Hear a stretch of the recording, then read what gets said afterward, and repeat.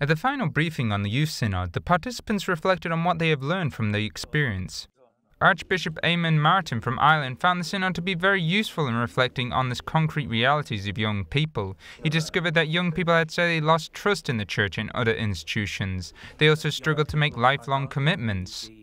They're drowning amidst a, a, a, sea of messages, often very contradictory messages, which are pushing them and pulling them, driving them this way and, that. And that.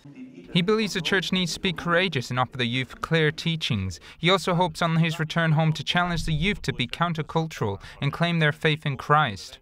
The church needs to present strong, clear reference points, including moral reference points, things that young people can hold on to, stepping stones to help them negotiate uh, the, the, the journeys that they have to make, to call them to be heroes, to call them to be, in some ways, countercultural, not always going along with the flow of everything that surrounds them.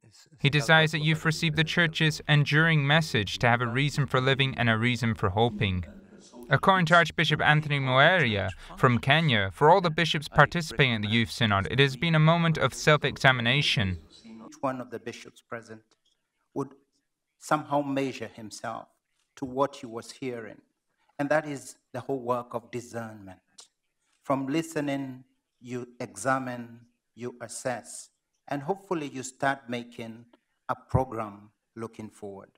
The bishops at the Synod are now studying the final document. It will be voted and presented to the Pope before the closing Mass of the Youth Synod.